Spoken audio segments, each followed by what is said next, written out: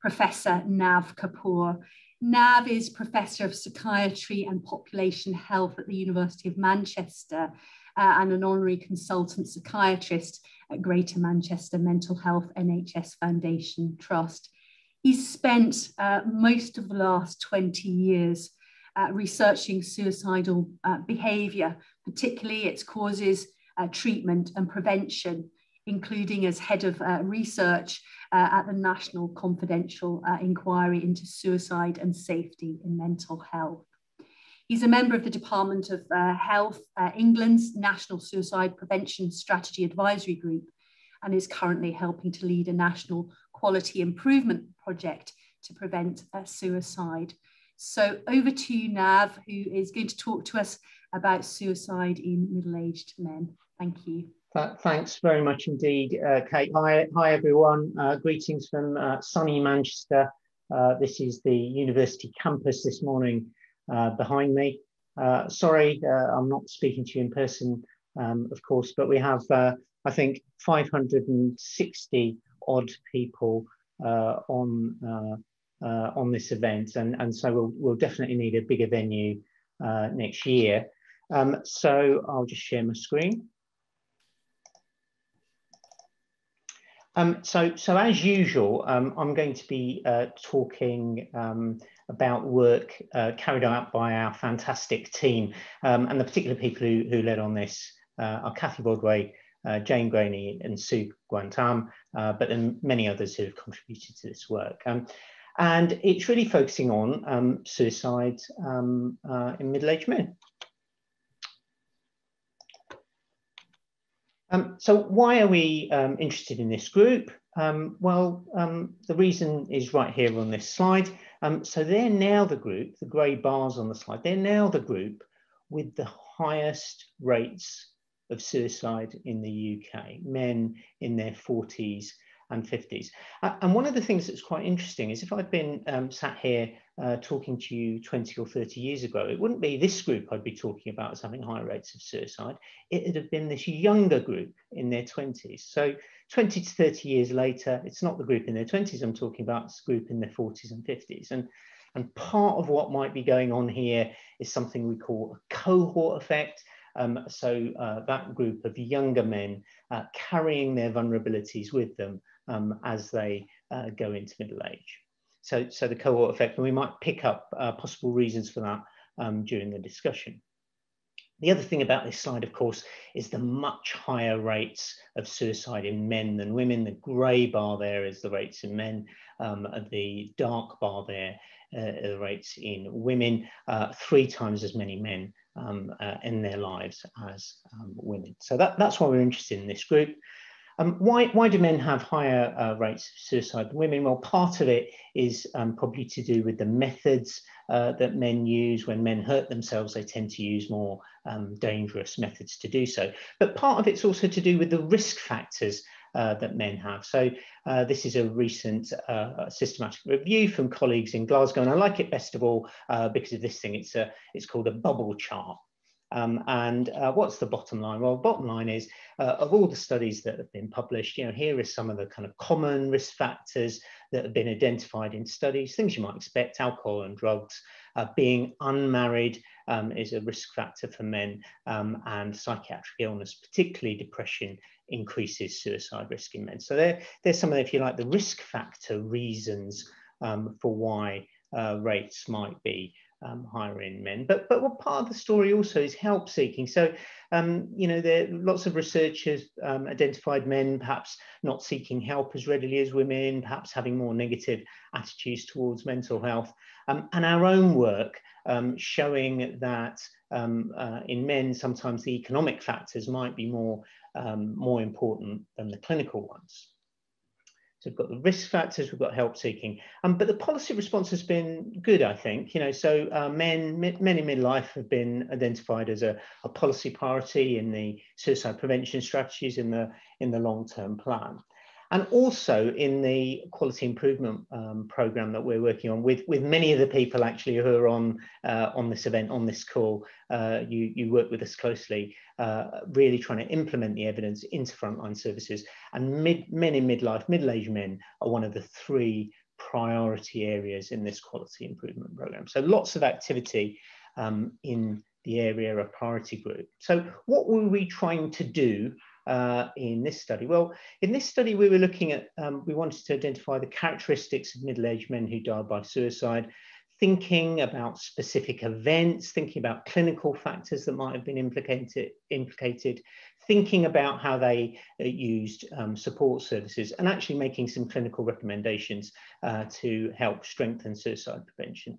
Um, so the important point here is, is this was a study of all middle-aged men, not just middle-aged men in contact with mental health service. So unlike uh, our report, this is um, you know, a study of middle-aged men in the general population.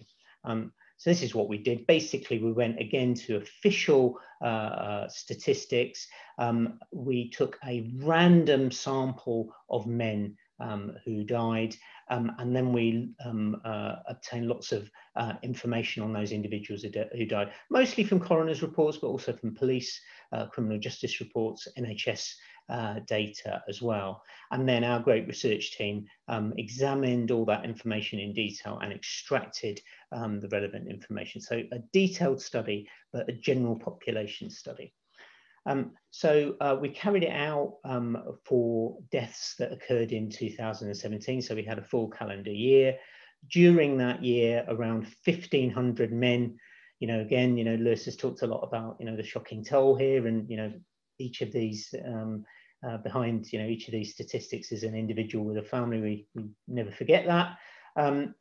And we selected 20% of those men to uh, look at the antecedents in detail, and we actually got information on um, uh, a large uh, a large proportion. That's so for 80%, we had um, relevant information. So what did we find? Well, if we think about the, the known risk factors, first of all, so some of the risk factors um, in that review, um, we're looking um, uh, at, the marital, at people's marital status.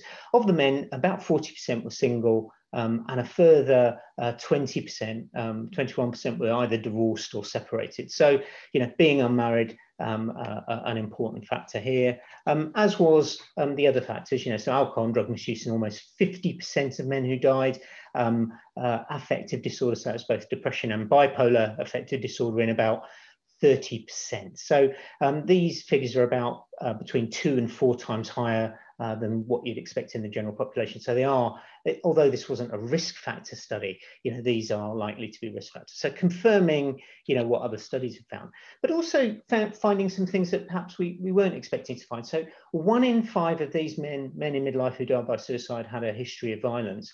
Um, and in, in one in 10, it was a history of domestic violence and a further 7% were actually uh, the victims of domestic violence. So 10% were perpetrators of domestic violence, and 7% were the victims of domestic violence. A third uh, of the men had experienced bereavement, most uh, commonly parental bereavement, um, but one in six, one in six of these individuals had experienced suicide bereavement. Rather interestingly, rather like the um, uh, in in younger people, the data Louis presented earlier, 15% um, there was some evidence of suicide-related internet use, and in the majority of these cases, it was searching, um, you know, searching for things like methods of suicide. 15% suicide-related internet use, and over half of men um, had a physical health problem. So those are some uh, things you might expect, some things you might not, um, but also uh, a combination of long-standing risks, so things like family history of physical or mental illness, um, you know, um, we've already heard about the potential very negative impact of, uh, you know, early childhood experiences. So 3% um, having experienced um, uh, negative experiences in childhood, another 4% having experienced um, uh, some form of abuse. So important factors. So these long-standing risk factors, but also with the long-standing risk factors, um, more recent events. So, you know, um, uh, interpersonal problems, problems with families and relationships in over a third of people, um, but but also socioeconomic recent events. You know, that's come up in um, Louis's talk as well. Almost a third had housing problems as a kind of recent event. Um, almost a third had financial problems, and in half of these um, people, it was actually related to gambling. I know gambling's come up in in the chat and in some of the Q and A. So about half of um, the people with financial problems had um, um, problems related to gambling, but also um, another quarter of people had uh, problems related to work. So the socioeconomic factors uh, were really important. About help seeking? Well, help seeking, you know, one of the stories out there is men don't seek help from services, but in fact, 90% um, of people had some history of service contact um, at some point. So only 9% had no history of uh, service contact. And in two thirds of men who had died, that contact had been fairly recent, had been within three months of death. Um, and in a third of men, it had been in the week before death. And a wide variety of services, you know, eight out of 10 having seen their GP, half having seen mental health services, half having seen mental health services, the emergency department, the justice, uh, criminal justice system, third sector. So, you know, lots of different agencies who they may have come in contact with. And about a fifth of men were in contact with multiple agencies just thinking about something we've, we've talked a lot about in recent years, and it's risk um, so of the sample of the, um, you know, over 200, about in, in about 70, just under 70, there was a rating of risk documented that we could find. But what's interesting is in 80% of these men who had died who had a rating of risk, the risk was viewed as low or not present the last time they'd been seen. So we've talked about the low risk paradox a lot over the years, but let's just have a look at these men who uh, it was documented they were a low risk. Two thirds had a history of alcohol and drug misuse. 70% uh, nearly had a history of self-harm and 70% had expressed suicidal ideation or intent. So you look at that and you ask yourself, are these really low risk men? What's going on? Is it simply that the risk has changed? Is it that our risk assessments aren't fit for purpose? I mean, it might be a bit of that, but this is probably another example of how certainly mental health services risk barometers kind of a reset. So basically everyone uh, who's seen by mental health services, many middle-aged men uh, are at high risk, but, but if you like, we, we kind of tend to downgrade the risk. But again, we may pick that up in the discussion. Just very quickly, just kind of what are the take-home messages? I mean, one of the take-home messages is that the risk factors are both long-standing and more recent. So we, we, talk about this model of cumulative risks. So you've got long-standing risks from childhood. You've got things that happen to you uh, through your life. And then you've got, if you like, uh, recent stresses and antecedents. And, and if you think about the prevention um, messages, they, they're different at each of them. So, you know, family and parenting support, uh, economic uh, uh, economic kind of mitigation effects and access to services, and then ready access to crisis support. So this model of cumulative risk. But I mean, one of the things to really for this study is that rates of contact were higher than we expected. And, and one of the things we, I think, need to move away from, of course, we need to be in touch with the men who aren't in touch with the services. And I know many of you, as part of the quality improvement work, are doing brilliant things uh, to get in touch with men who aren't in contact. But for those who are, we really need to make services fit for purpose. So uh, it's no good, you know, that they're, they're in contact. We need to engage them. We need to make them uh, services um, fit for purpose. And again, we might pick up how we do that in the discussion. We need to kind of adapt interventions to suit men, men's needs. There's, there's messages in the report. There's much more detail in the report about safer prescribing. Um, psychological therapies need to be suited to the needs. So 5% of men, 5% of men who died were uh, had received psychological therapy, were receiving psychological therapy, 50% uh, receiving antidepressants. You might argue that that's, uh, that's not an appropriate balance. So thinking about how we can um, tailor psychological therapies um, to men, and also this idea of you know recognizing risk and responding appropriately. There's no such thing really as as low risk. It's it's about providing something for everyone. Um, other, other things, again, more detail in the report, providing bereavement support uh, for uh, the one third of men who are bereaved prior to dying by suicide. Thinking about online safety. So online safety isn't just about young people, um, it's about people across the lifespan.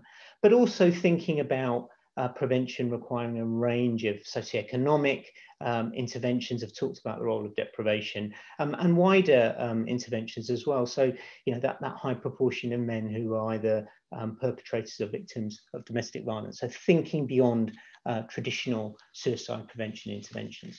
Um, now, I've intentionally not mentioned uh, COVID-19 or the pandemic um, throughout this talk, but I'm going to mention it now.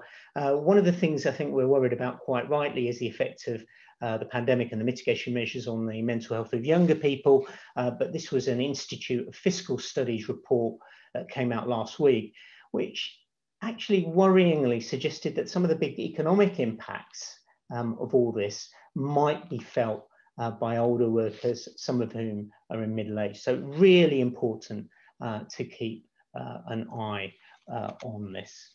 Um, and that's a reminder to me that now we're going to move uh, to the panel discussion. So uh, thank you for listening and I'll stop sharing my screen now.